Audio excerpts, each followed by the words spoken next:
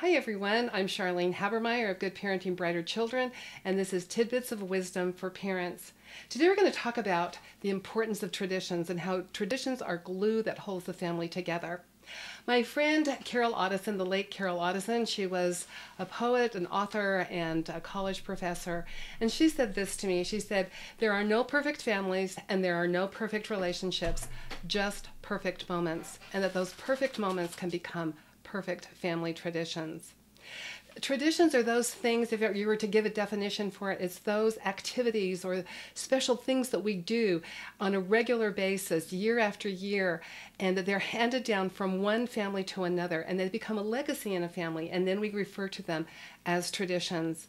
They don't have to be something very elaborate, they can be as simple as a family recipe that you gather around as a family, and every Sunday you share that family recipe and you love it and you enjoy it.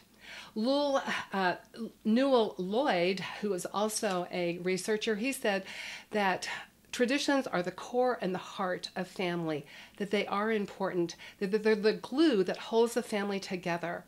I want you to think about traditions that you have in your family that have been really special, that have been handed down maybe from a grandparent or a grandfather or a great grandparent or a great grandfather. I recently interviewed Thaddeus Ford. He is, comes from a family of six generations of jazz musicians, and he himself is a jazz musician. He represents the sixth generation, and his little son now is also interested and loves music, and he gets this love of his music from his father, and he will represent the seventh generation. That that is an example of an amazing family tradition.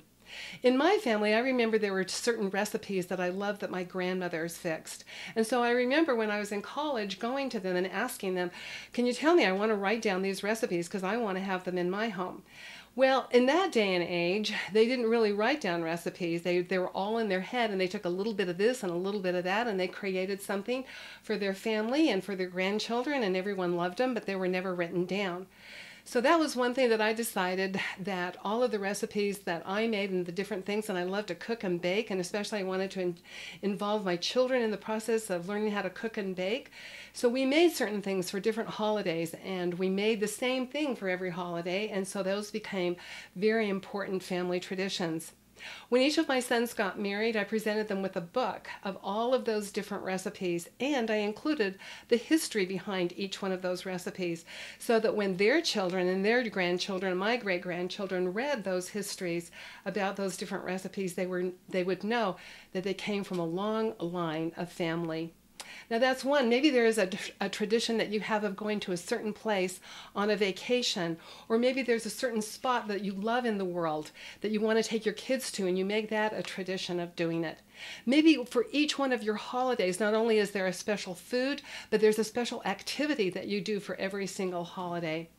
One uh, very special tradition that we do is on Christmas Eve, and I usually start around July or August thinking about this, but we have a special time that we gather together as a family and we talk about something that is going to help us improve ourselves, like the importance of gratitude and the importance of kindness to other people and the importance of service. All of those things can become important family traditions.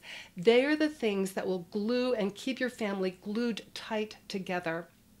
I'm going to leave you with a quote from Fiddler on the Roof. Tevye, at the very end of it, he says, Without our traditions, life would be as shaky as a fiddler on the roof. Thank you for joining me, and I'll see you tomorrow for any additional um, uh, helps or ideas and stuff. Check out my link in the, in the uh, comment section below. Bye.